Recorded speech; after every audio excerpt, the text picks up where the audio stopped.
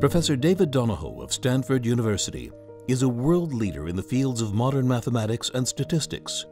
His fundamental research breakthroughs have influenced numerous applications in disciplines ranging from medical imaging to finance. A giant in the field of information processing, David has spearheaded the world's effort to harness and handle large-scale information and to extract meaningful material from huge data. Beyond his research achievements, he is a legendary teacher and advisor, mentoring thousands of students. At Technion alone, David has profoundly influenced the works of prominent Israeli academics Michael Elad, Freddy Bruckstein, Yonina Eldar, and Moti Segev.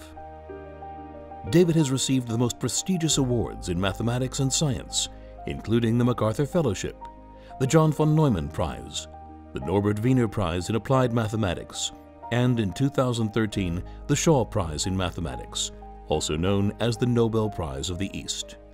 He holds 35 patents and has published more than 200 journal and conference publications. Statistics attracted me when I was in college because I saw even years ago that there were going to be massive data analysis challenges that would always need a lot of mathematical ability to solve. The excitement from seeing that computers were bringing a whole new world filled with data and data analysis got me on this track towards analyzing data and thinking about processing data. As a mentor, I like to try to understand what the person I'm working with is good at.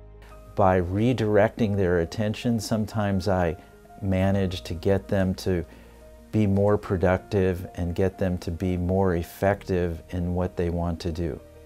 My wife is Israeli. We met as PhD students at Harvard after considerable amount of time just visiting Israel for family reasons. I've also visited on sabbatical. I've visited for conferences.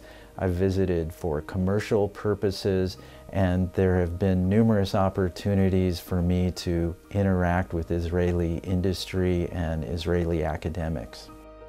The Technion is a national treasure for Israel and everyone who's involved in supporting the institution, helping build it up, being part of its proud tradition over more than 100 years can really be proud of what they've accomplished.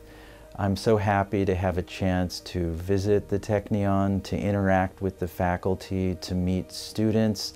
And on a very personal note, my father-in-law was a graduate of the Technion as my sister-in-law, and I've always thought of the Technion as a very, very important place in our family.